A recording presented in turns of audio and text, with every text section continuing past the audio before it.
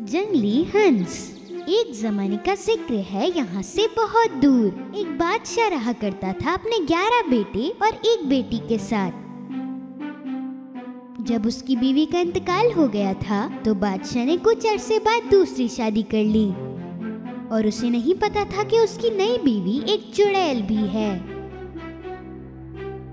उस चुड़ैल को बादशाह के बच्चे बिल्कुल भी नहीं पसंद थे। वो उन बच्चों की हमेशा बादशाह से शिकायत करती और उन्हें घर से निकालने को कहती। बच्चे बदतमीज हो गए हैं। नौकरानी रोज आकर शिकायत करती है। नई शहजादी बहुत शिकायतें करती और बादशाह भी अब उसकी बात मानने लगा था। सबसे पहले उस बादशाह ने अपनी बेटी को थोड़ा दूर भेज दिया।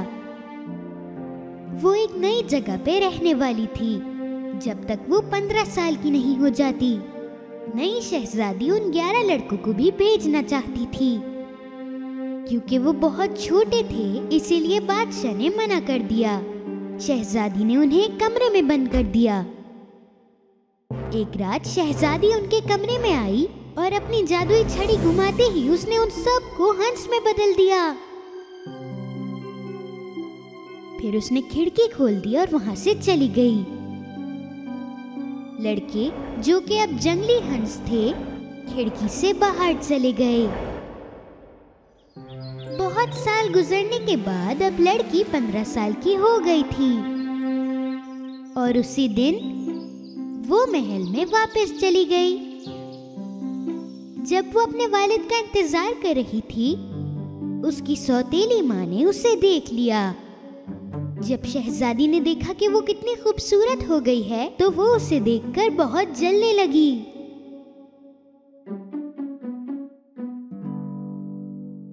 क्योंकि वो बहुत थकी हुई थी तो वो अपने वालिद का इंतज़ार करते करते वहीं पर सो गई। शहजादी कमरे में आई और उस पे एक जादू किया। अचानक बादशाह की बेटी के बाल बहुत खराब हो गए। उसका चेहरा भी बदल गया और अब वो पहले जैसी नहीं दिख रही थी। बादशाह अपने महल में वापस आया और वो बहुत खुश था कि उसकी बेटी वापस आ गई है। वो जल्दी से उसके कमरे में गया। लेकिन जो लड़की कमरे में सो रही थी, वो उसकी बेटी की तरह नहीं दिख रही थी। ये मेरी बेटी नहीं है। मैं हुक्म देता हूँ कि इसे फ़ौरन महल से निकाल दिया जाए। हुक्म देने के बाद बादशाह वहाँ से चला गया। बादशाह के सिपाहियों ने उसे जगाया और महल से बाहर ले गए। उसने उनके सिपाहियों को बहुत समझाने की कोशिश की, लेकिन उसके सिपाही नहीं माने। क्योंकि उसके पास और कोई रास्ता नहीं था तो वो रोते रोते चलने लगी। मुझे अपने भाइयों को ढूंढना है। अगर हम सब साथ होंगे तो हमें कोई कुछ नहीं कह सकता। जब वो अपने रास्ते पर जा रही थी तो उसे एक बूढ़ी औरत नज़र आई और उसने उस बूढ़ी औरत से पूछा क्या आपने ग्यारह शहजादों को यहाँ कहीं देखा है? मेरी प्यारी बेटी, मैंने ग्यारह शहजादों को नहीं देखा, लेकिन मैंने ग्यारह हंसों को ज़रूर देखा है जो सुबह ही सुबह यहाँ आते हैं।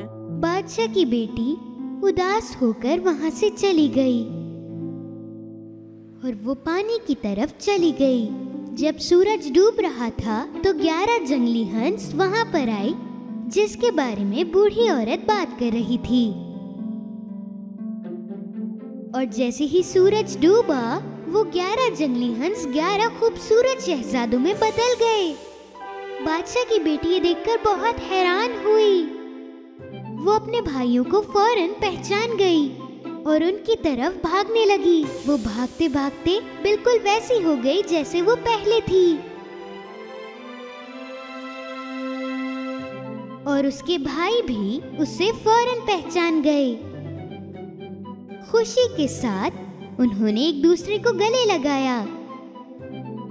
मलका का जादू अब टूट चुका था, बहन भाइयों के प्यार की वजह से।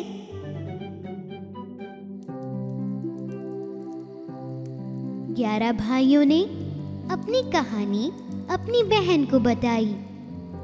वो इंसान सिर्फ़ रात को बन सकते हैं और दिन में वो सारे दोबारा जंगली हंस में बदल जाते हैं। और अब दोपहर होने ही वाली थी तो उन्होंने ये फैसला किया कि वो उसे अपने साथ लेकर जाएँगे। उन्होंने लकड़ी की एक बास्केट बनाई, उसको उसमें बिठाया और जब वो बिल्कुल तैयार थे, सूरज तुलू हुआ और वो सारे वापस जंगली हंस में तब्दील हो गए। उन हंसों ने अपनी बहन को पकड़ा और उड़ना शुरू हो गए। शहजादी को अपने भाइयों के साथ उड़कर बहुत मज़ा आ रहा था और उसे ये ख्वाब लग रहा था। थोड़ी ही देर बाद वो सो गई और उसने ख्वाब में देखा कि एक परी उसके पास आई है। अगर तुम चाहती हो कि तुम्हारे भाई वापस से वैसे ही हो जाएँ, तो तुम्हें उनके लिए कुछ जैकेट्स बनानी होंगी। लेकिन जब तक सारी जैकेट्स नहीं बन जाती, तुम ये किसी को नहीं बताना, वरना वो हमेशा वैसे ही रहेंगे जैसे अभी हैं। जब उसने सब बता दिया तो वो परी गायब हो गई। उस शहजादी ने अपने ख्वाब के बारे में अपने भाइयों को नहीं बताया। उसके भाइयों ने उसे एक जगह पर छोड़ दिया और वादा किया कि वो जल्द ही वापस आएँगे। शहजादी वो सारा सामान उठाने लगी जो परी ने बताया था।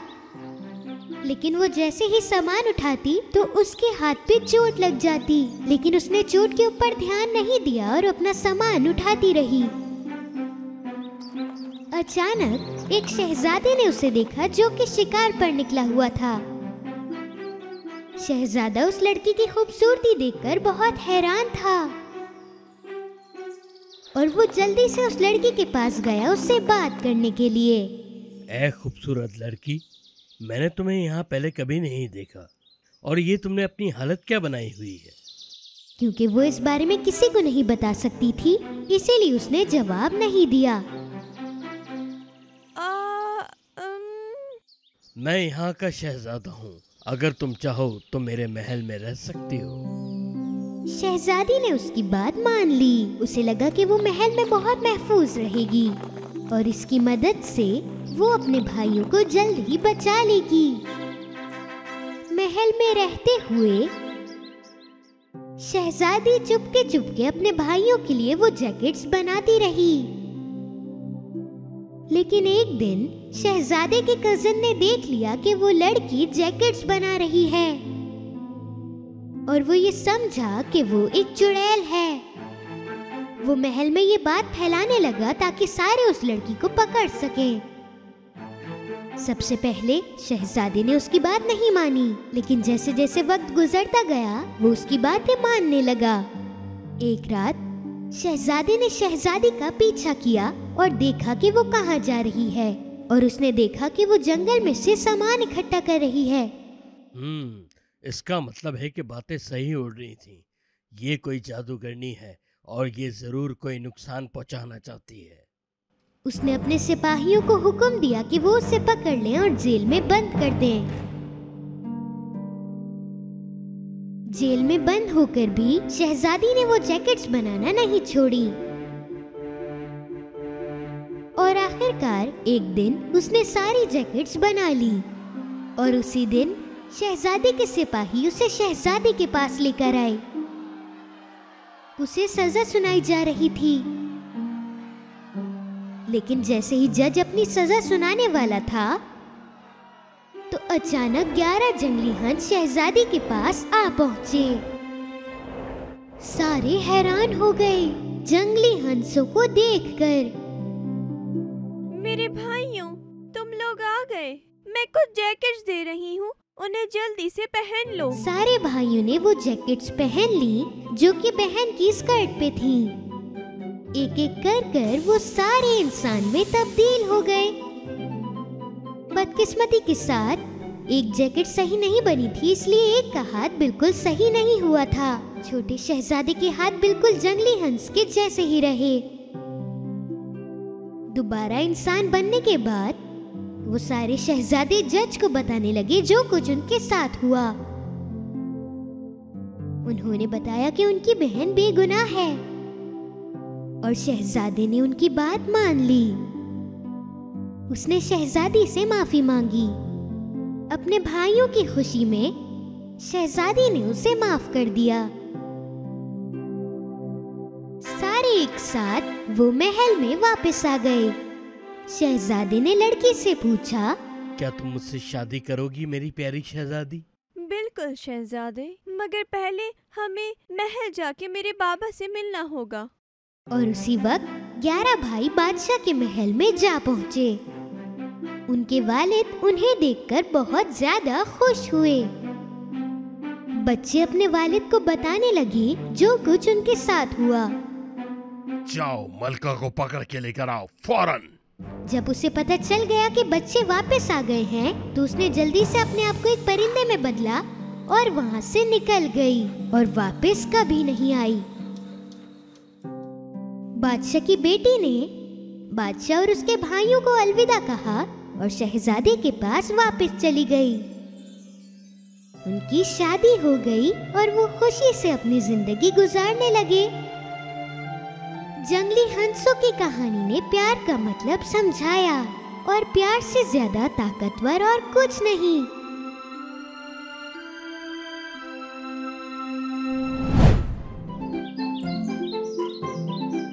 एक जमाने का ज़िक्र है, जंगल के बिल्कुल कोने में सुनहरे बालों वाली लड़की रहती थी और इस लड़की का नाम था गोल्डी गोल्डीलॉक्स।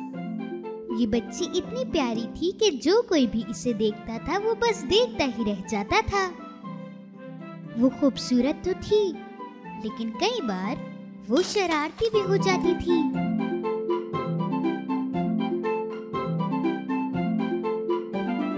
जब भी वो घर से बाहर खेलने के लिए जाती तो उसकी वालदा उसे हमेशा एक ही बात समझाती। बेटा, बागीचे में जाओ, मगर लकड़ियों के पास मत जाना। गहरे जंगल में, एक बहुत बड़े घर में बेयर फैमिली रहा करती थी। एक बड़े दाढ़ी वाले पापा बेयर उनसे छोटी मामा बेयर और एक छोटा बेयर मामा बेयर हमेशा नाश्ते में गंदम बनाती थी। एक दिन बेबी बेयर सबसे पहले उठकर अपना खाना खाना शुरू हो गया। लेकिन बदकिस्मती के साथ वो बहुत गर्म था। मम्मा हमारा खाना ठंडा हो जाए इससे पहले हम वॉक पे चलें। मम्मा पापा और बेबी बेयर अपना खाना छोड़कर एक वॉक के लिए निकल पड़े। और उसी दिन गोल्डीलॉक्स अपने बागीचे में खेल रही थी और नाश्ते के लिए इंतज़ार कर रही थी। और वो एक ही जगह पर खेल खेल कर बहुत बोर हो चुकी थी तो उसने सोचा कि क्यों ना लकड़ियों के पास जाया जाए। क्या हो जाएगा? अगर मैं वॉक पर चली जाऊँगी तो? उसने इधर उधर देखा और देखा कि कोई नहीं है तो वो जंगल की तरफ़ भागने लगी। जब वो थक गई तो वो रुक गई और उसने इधर उधर देखा। कितना प्यारा जंगल है इतने प्यारे फूल पेड़ मैं इससे पहले यहाँ पर क्यों नहीं आई? वो जंगल की गहराइयों में जाने लगी और दूसरी तरफ़ अपनी फैमिली के साथ जाते हुए बेबी बियर ने शहद की मक्खियों का छत्ता देखा। ये देखो ये कितना बड़ा है। इसमें ज़रूर बहुत शहद होगा। पापा हम क्या शहद खा सकते हैं? नहीं मेरे बेटे ये शहद की मक्खियों का घर है। हमें उन्हें परेशान नहीं करना चाहिए। हम किसी के घर जाके ऐसे खाना नहीं ले सकते। ये सही नहीं है। चलिए ठीक है। मेरे ख्याल से हमें घर जाके नाश्ता करना चाहिए। दूसरी तरफ़ गोल्डीलॉक्स चल चल कर बहुत थक चुकी थी। आखिरकार वो खो गई। उसने पीछे जाना चाहा, लेकिन उसे रास्ता याद नहीं था। वो बहुत भूखी हो गई। वो इतना थक चुकी थी कि उसकी आँखों से आँसू आने लगे। वो थोड़ा सा और चली और आखिरकार वो रोड के आखिर पर आ पहुँची। और वो उस घर पर आकर रुकी, जहाँ पर बेयर फैमिली रहती है, पेड़ों के बीच में। वो चुपके से घर के अंदर गई। थोड़ा सा चली, लेकिन उसे घर में कोई नहीं दिखा। उसने दरवाज़ा भी बजाया, लेकिन किसी ने जवाब नहीं दिया। फिर उसके बाद उसने खिड़की से देखा। उसने देखा कि तीन बाउल खाने से भरे हुए हैं। वो दोबारा दरवाजे के पास गई और उसने दरवाज़ा ज़ोर से खटखटाया और दरवाज़ा खुला और गोल्डी लॉक्स ने देखा कि अंदर कोई नहीं है। उसने आवाज़ भी दी। क्या यहाँ कोई है? जब कोई जवाब नहीं मिला तो वो अंदर आ गई। वो टेबल के पास आई। तो टेबल के ऊपर तीन बाउल्स खाने से भरे हुए थे। एक बड़ा एक दरमियाना और एक छोटा। क्योंकि वो बहुत भूखी थी तो वो पहले बड़ा वाला खाना चाहती थी। लेकिन जैसे ही उसने चमचा अपने मुँह में रखा उसका मुँह जल गया क्योंकि खाना अभी भी गर्म था। वो जल्दी से दरमियाने बर्तन पे आई और उसने उससे खाना शुरू किया लेकिन वो बहुत ठंडा था। ये बहुत ठंडा है। आखिर में वो छोटे वाले बर्तन पर आई। हम्म ये तो ना ज़्यादा ठंडा है ना गरम। ये तो बिल्कुल वैसी है जैसा मुझे चाहिए था। उसने जल्दी से उसमें से सब खा लिया।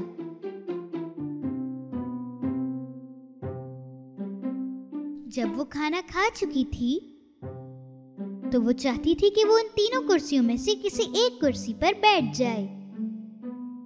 उन तीनों कुर्सियों में से एक थी बड़ी, एक थी दरमियानी और एक थी छोटी।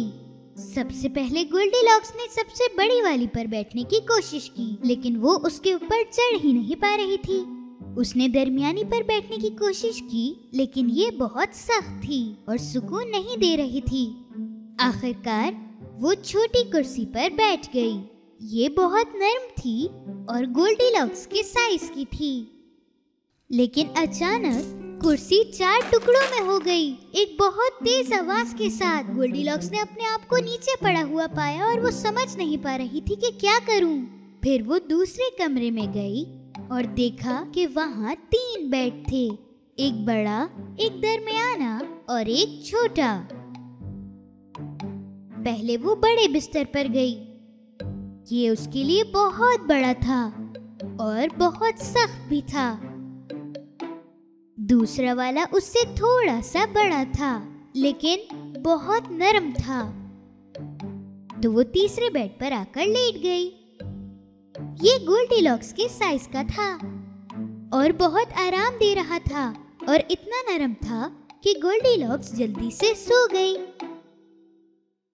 जब गोल्डी लॉक्स सो रही थी तो बियर फैमिली वापस घर आ गई। पापा बेयर अपने साथ थोड़ी लकड़ियाँ लाए, जो कि चिमनी के लिए थी। मामा बेयर फ्रेश बेरीज लाई और बेबी बेयर अपना खाना खाने के लिए इंतज़ार नहीं कर पा रहा था। जब वो घर पर आए वो सीधा टेबल पर बैठ गए। पापा बेयर ने अपने खाने पर देखा और वो बहुत गुस्सा हुए। किसी ने मेरे खाने को हाथ लगाया है। मामा बेयर ने भी अपनी प्लेट पर देखा। किसी ने मेरा खाना भी चखा है। और जब बेबी बियर ने अपनी प्लेट पर देखा तो वो रोने लग गया। अरे मेरा खाना तो किसी ने खा लिया। अब मैं इतना भूखा हूँ अब मैं क्या करूँ?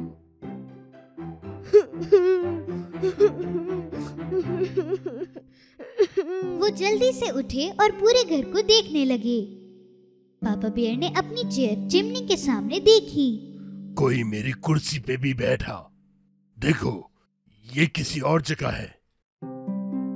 फिर मामा बेर ने भी अपनी चेयर देखी। कोई मेरी चेयर पे भी बैठा है। और पहले की तरह बेबी बेयर रोने लगा। मेरी चेयर पे कोई बैठा उसने मेरी चेयर भी तोड़ दी।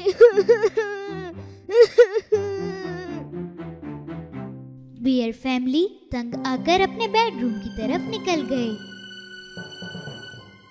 किसी ने मेरे बेड को भी इस्तेमाल किया। देखो ये कैसे हो सकता है? कोई मेरे बेड पे भी लेटा था। किसी ने मेरे बेड को भी इस्तेमाल करा। मुझे बहुत नींद आ रही है। अब मैं क्या करूँ?